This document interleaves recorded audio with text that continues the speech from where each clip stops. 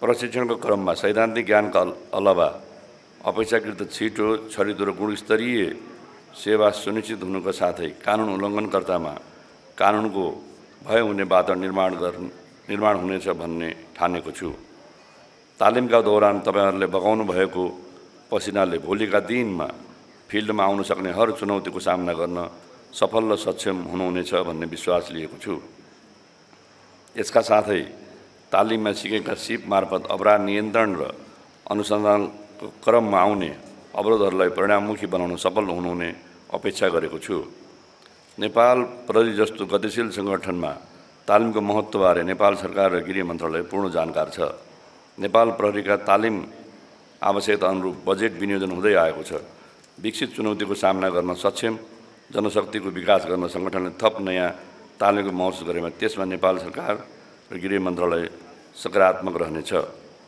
कर्तव्य पालनाको सिलसिलामा भेटिने देखिने कुनै पनि अवाञ्छित गतिविधि गैर कानुनी क्रियाकलापलाई निर्ममतापूर्वक नियन्त्रण निस्तेज गरी कानुनी राज्यको प्रवर्तन गर्न दृढ सङ्कल्पित रहन म यसै कार्यक्रममा दीक्षित प्रहरी अधिकृतहरूलाई निर्देशन गर्दछु।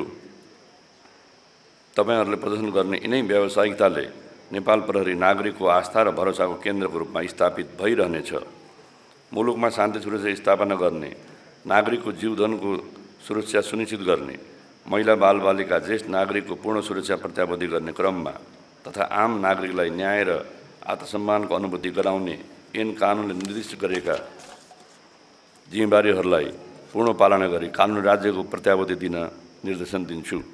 कानुनले तोकेको जिम्मेवारी निर्वाह गर्ने क्रममा प्रहरीलाई आउन सक्ने हर चुनौतीमा नेपाल सरकार र गृह गृह मन्त्रालयले पूर्ण साथ रहने प्रतिबद्धता व्यक्त गर्दछु।